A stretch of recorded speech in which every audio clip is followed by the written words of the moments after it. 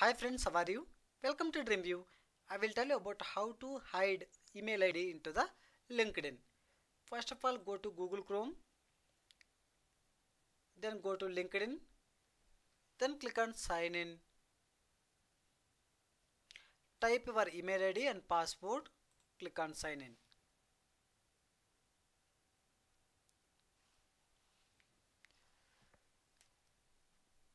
This is the profile after that click on me option right side top.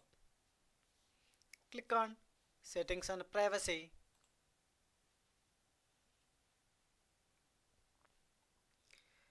Then come down. Here left side how others see your profile and network information.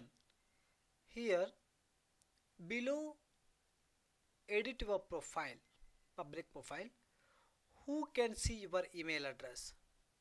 Is there one option called who can see your email address?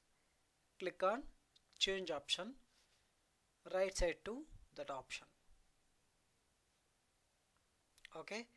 Here three options are there. One is first degree connections first and second degree connections. Anyone on linkedin or else only you. First degree means your friends only. First and second degree mean your friend and friends friends. Anyone mean anyone into the linkedin networking site. Only me. Only visible to me. I will keep only visible to me. It's automatically saved. Okay see I will show you again. Click on me option right side top settings and privacy. After that come down click on change option beside to who can see your email address.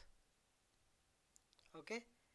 Here I kept already only visible to me. Okay